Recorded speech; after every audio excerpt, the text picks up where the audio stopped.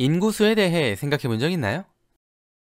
지구에 인간이 등장했을 때부터 지금까지 인구수는 꾸준하게 계속 늘어났습니다.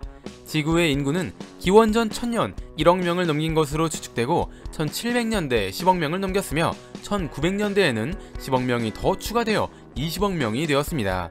지금은 지구 인구가 80억 명 정도 되는 것으로 알려져 있습니다. 지구에서 인구가 가장 많은 나라는 인도로 14억 5천만 명 정도 되고 그 다음으로 인구가 많은 나라는 중국으로 14억 2천만 명 정도 됩니다. 이 둘을 합치면 약 28억으로 지구 인구의 35%를 차지합니다. 중국과 인도의 면적을 합치면 지구 전체 육지 면적의 8%밖에 안 되지만 인구는 35%를 차지한다는 것이 놀라울 따름입니다. 어떤 곳에 사람이 많이 모여 살기 위해서는 먼저 그곳이 많은 사람이 살기에 충분히 커야 하며 그곳에서 살아갈 수 있도록 식량이 많이 만들어져야 합니다. 특히 과거의 인류는 농사를 지으며 살았기 때문에 많은 식량을 만들 수 있는 곳, 그래서 많은 사람들이 먹고 살 수 있는 곳으로 모여들었습니다.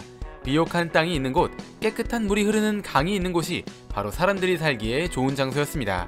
중국에는 양쯔강, 황하, 흑룡강, 주강처럼 세계적으로 유명한 강이 많이 있습니다. 인도에도 겐지스강, 인더스강, 야무나강처럼 세계적으로 유명한 강이 많이 있습니다. 즉 중국과 인도에는 농사를 지을 수 있는 좋은 환경의 땅이 많이 있다는 것입니다. 또 닭이나 소, 돼지 같은 동물을 가축화하는 것도 아시아에서 출발했다는 이야기가 있습니다. 사람들이 먹을 수 있는 식량이 충분했다는 것이죠. 이런 이유 때문에 아주 옛날부터 중국과 인도에는 사람들이 많이 살고 있었습니다. 유럽은 밀을 주식으로 합니다. 반면 아시아는 쌀을 주식으로 하죠. 어떤 지역에서 사용 가능한 자원으로 얼마만큼의 인구를 부양할 수 있는지 나타내는 것을 인구 부양력이라고 합니다. 쌀은 밀보다 생산량이 높고 더 많은 칼로리를 만들어냅니다. 그래서 쌀은 밀보다 인구 부양력이 높습니다. 다시 말해 아시아는 쌀을 주식으로 했기 때문에 많은 사람들이 먹고 살 수 있었다는 것입니다.